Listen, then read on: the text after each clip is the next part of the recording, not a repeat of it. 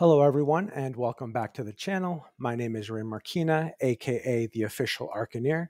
Today, we are diving into an exciting new topic for all of you Microsoft Fabric users out there.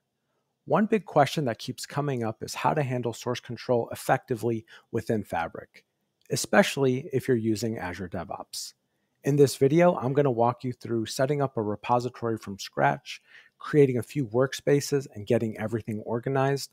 And we'll finish off by going through our very first pull request together. So, whether you're just starting or looking to streamline your workflow, this video is perfect for you. So, get ready and let's get started. So the first thing I'd like us to take a look at is this illustration that is provided to you by Microsoft. Search for Microsoft Fabric on Microsoft Learn. Uh, if you search for Git integration and navigate to the Manage Git branches, you'll see this illustration. It's also very good documentation to go over to really familiar, familiarize yourself with source control and how it's going to integrate with Microsoft Fabric.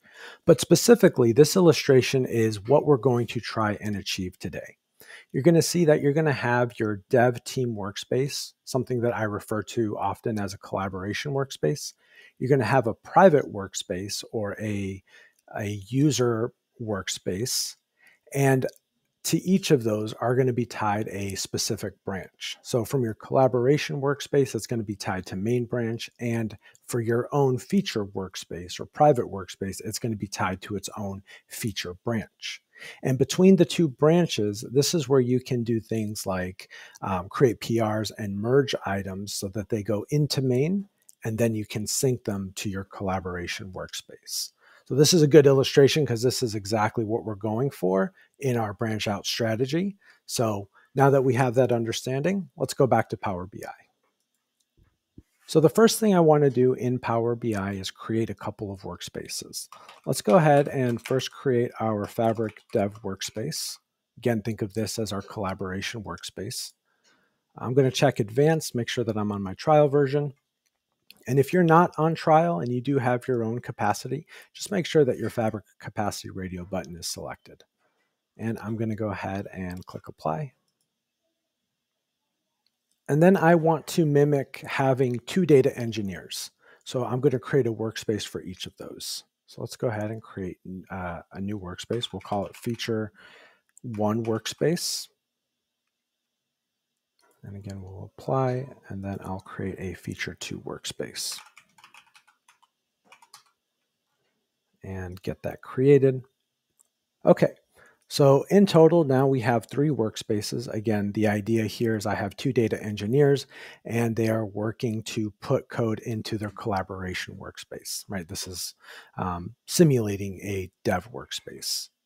So the next thing that we need to do is we need to create our repository to create our main branch. So let's navigate into DevOps and under uh, repos, you can create a new repository. I think you need admin or repo permissions within DevOps, so make sure you have that permission set for yourself. And I'm going to create a new repo called Fabric Analytics.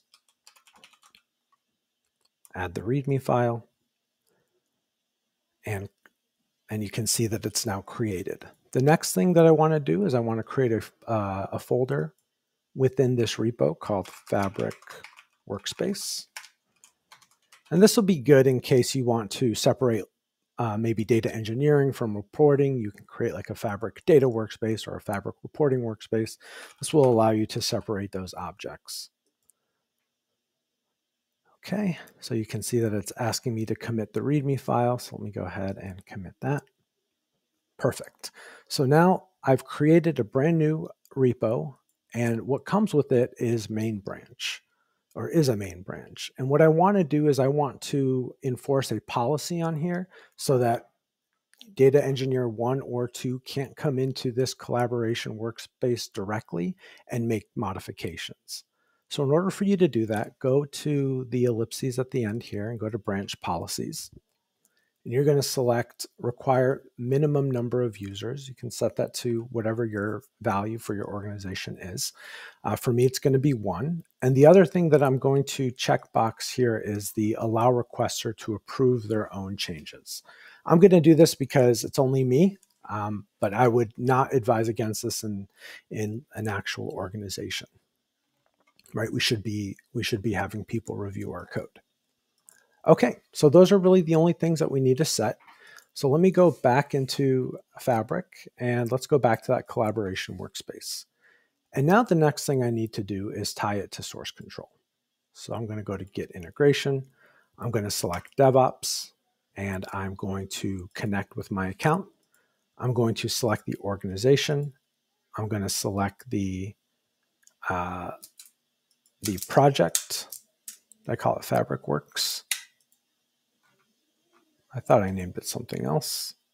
Fabric Analytics. Yeah, so let me go back over there. Let me see what happened.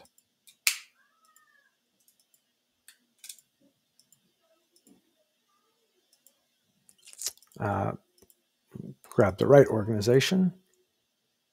Oh, Fabric Works is the project, excuse me, not the repo. and then I'm going to select the Fabric Analytics, and I'm going to select that this is coming from main branch and then I can do Fabric Workspace. And I can select Connect and Sync. And again, to kind of showcase what that branch policy is doing, I'm going to go ahead and create a new notebook here. We'll call it Notebook Test. And now that it's saved, let's go back to the workspace. And we can see that this has been added to the list, but you can see that the git status says it's uncommitted. And if I try to commit this,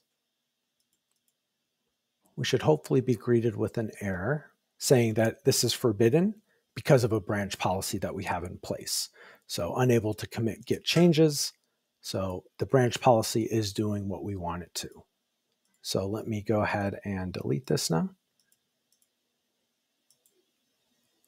And let's go configure our feature workspaces.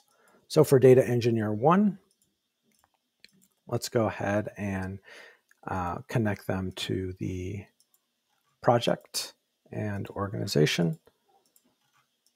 So we'll select the Fabric Analytics. Now the branch is going to be a new branch because this is going to be a feature branch that we're creating. So let's do feature one, but it is going to be derived off of main. So let me go ahead and create that. And I do need to say that any objects that I create are going to go in the Fabric workspace. Again, mimicking what we have in the main branch. So I'm going to go ahead and connect. And what we're going to do now is go ahead and create that PR. So again, that notebook that we wanted to create initially that we couldn't, that's what we're going to create now. So let's create notebook one. Let's add something called print hello and we can see that it's saved. Let's go back to that workspace. And now, because this isn't tied to any policy for our feature branch, we can commit this change. So again, if you think back to that illustration, what we need to do now is we need to go from our feature branch and we need to create a PR and merge that into main. So in order for us to do that, uh, you can do it one of two ways. You can do it right within DevOps and create a pull request, or you can just create uh, click this link, and it will take you right to DevOps into the page that you're looking for. And from here, you can create your pull request. So if you navigate to files, you can see that we added a notebook, um, and you can see that uh, we did add that print statement hello. So that looks good. Let me go ahead and create and I can approve, and now I can complete. So it's going to ask you if you want to delete that feature branch after uh, you've merged your changes. I'm going to opt for no. Again, depending on your workspace strategy, this might be something that you want to do and just create a brand new feature branch from that same workspace. Um, I like this concept of using a long lived feature branch, and this is going to enable me to continue to use my workspace even after others have contributed to the collaboration workspace. And I'll show you how that works here at the end. But for now, I'm going to go ahead and complete that merge. Now, if I navigate back to my collaboration workspace, we should now see that within source control, we do have notebook one here. And let me just say update.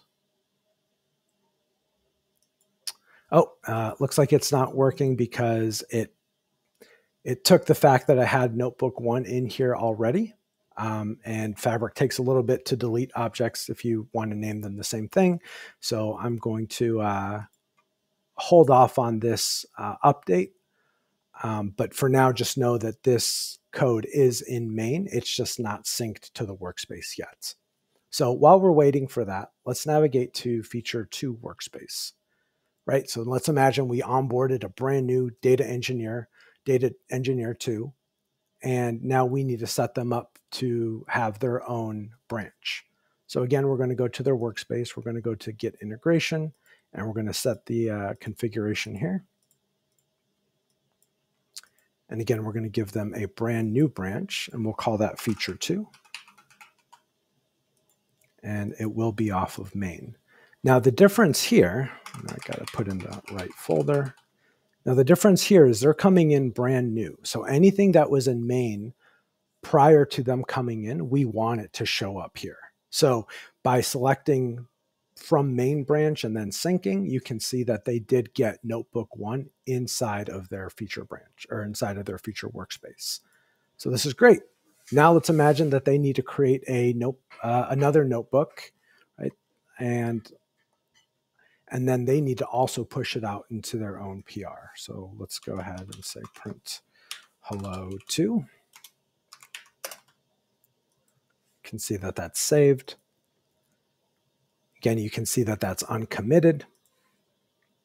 We can commit that change, and then we can create that PR by navigating to feature and I can now create that pull request. And again, looking through it, you can see that, uh, right, we're just making an add here. There's nothing being deleted or anything like that. Um, so you can see there's hello to. That looks right.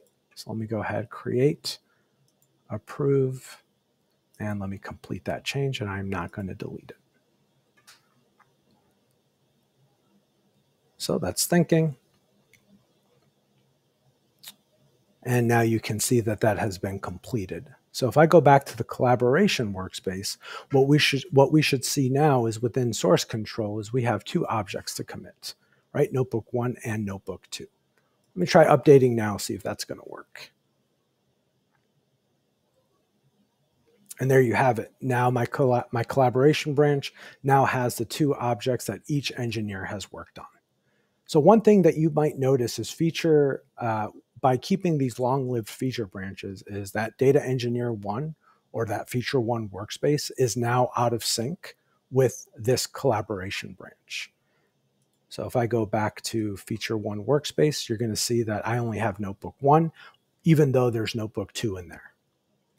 So in order for us to continue to use this branch effectively, what we need to do is we need to get latest.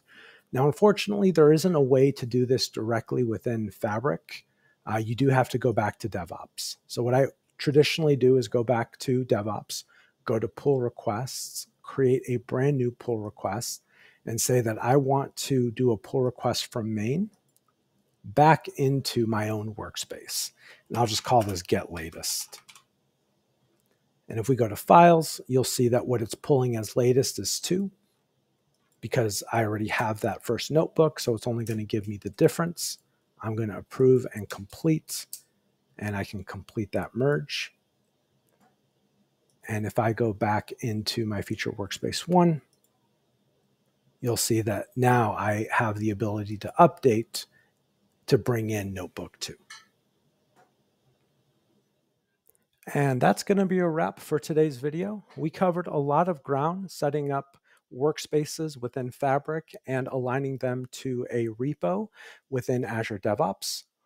We even did a couple of walkthroughs to, to showcase what some of those PRs are going to look like for those data engineers. I hope this walkthrough gave you the clarity and confidence to get started with source control in Microsoft Fabric. If you found this video helpful, don't forget to like and subscribe for more content like this. Let me know in the comments if you think there's anything specific you'd like me to cover in future videos. Thanks for watching. Happy coding, and we're going to see you in the next one.